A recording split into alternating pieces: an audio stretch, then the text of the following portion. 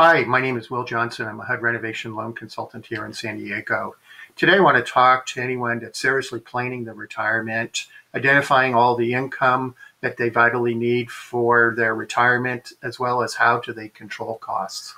There's a big concern about outliving our assets. One of the daunting tasks is how to utilize equity in your real estate. One obvious solution is to sell your property and move to more affordable housing.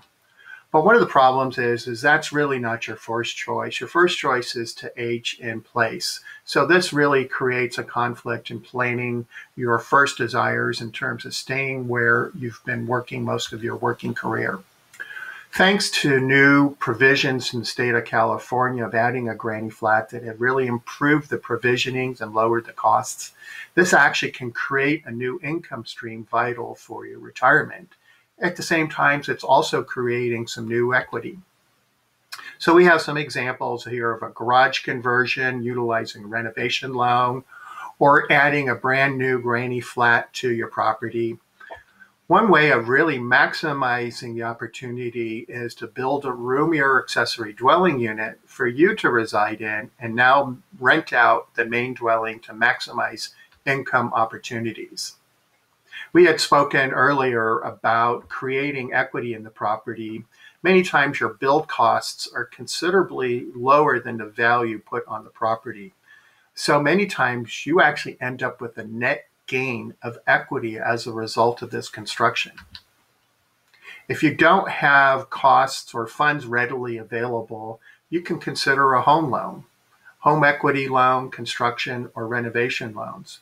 We wanted to introduce to you renovation loans available from HUD and Fannie Mae. One of the primary advantages is sometimes the equity you have in the property is not sufficient for construction of a granny flat.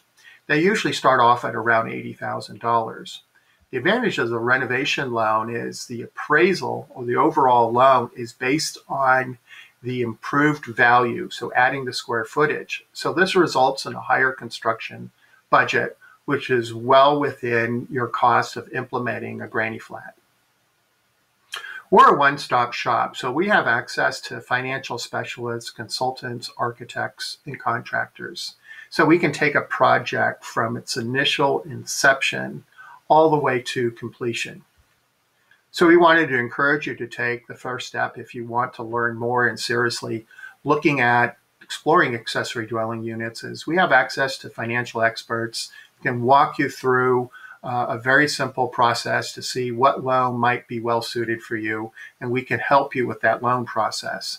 And then we have a website that's full of information about ADUs, provisions for specific to your neighborhood.